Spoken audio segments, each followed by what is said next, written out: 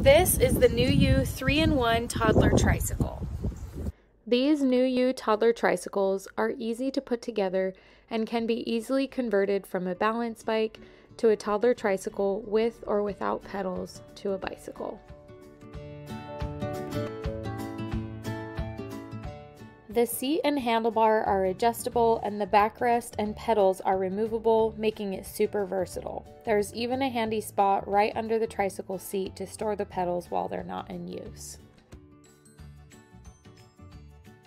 This is a darling and sturdy tricycle that will easily grow with your toddler through their different stages.